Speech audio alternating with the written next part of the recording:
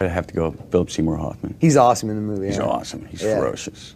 because his character didn't like us in the movie. So I was always really intimidated when he was there because not like off camera, but in the scenes they were scary to me because he didn't like me in the scenes, and I respect him so much that it it made actually made me feel bad that he It took didn't like me in of the two of us, and we still lost.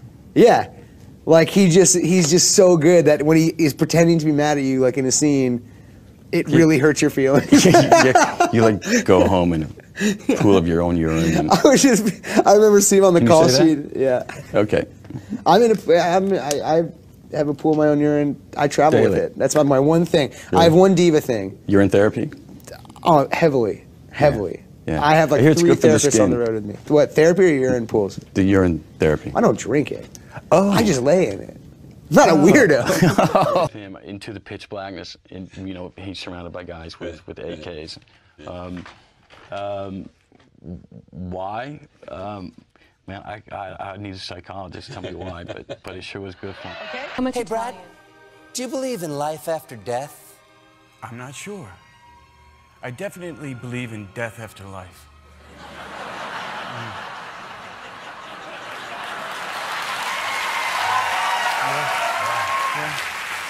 Gotta say, that's that's deep. Yes, I am, aren't I? Yeah. You are known as someone who uses your celebrity to uh, raise awareness for worthy causes that the media overlooks. Well, I've always said. Is that I- why you're on this show? I can't. I'm not sure why I'm on the show. Um, thank you, Leonard, for that. That was actually good fun. I thought it might be a little painful looking back. on- I really, I really enjoyed that. I, I thank you. Um, I've always appreciated your, your, your, your words on film. I find you a bit judgy, a little judgy, but.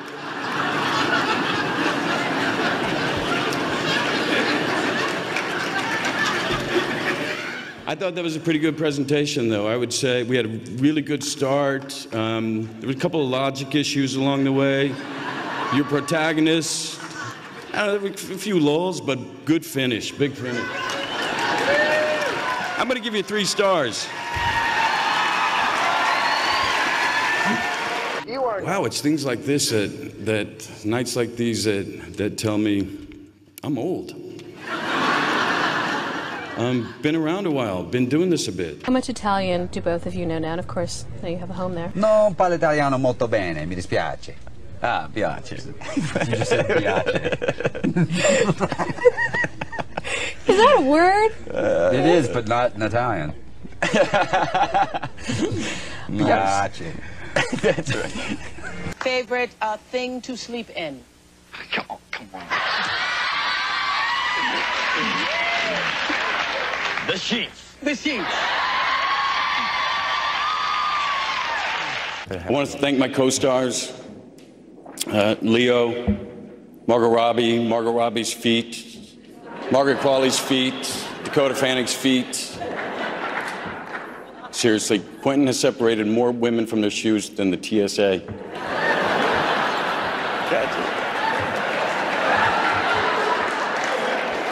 if you were an old man and you had to give, I am an old man.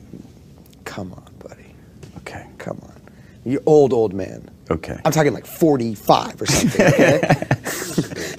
you guys were super cool about taking a chance on me to do something really different, and I Well, really we were, you were appreciated that. forced on us by the studio. Yes, well, I know that, but that's I They was said we hoping need you some- weren't going to say that. Some stunt casting. Favorite TV couple? Favorite TV couple. Favorite TV couple. Um. Oh, geez, Ross and Rachel.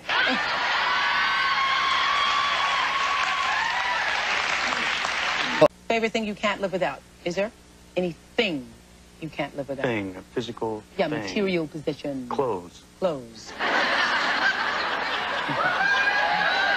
Okay. Hey, Brad. Let's be honest, it was a difficult part. A guy who gets high, takes his shirt off, and doesn't get on with his wife. It's a big stretch. It's big.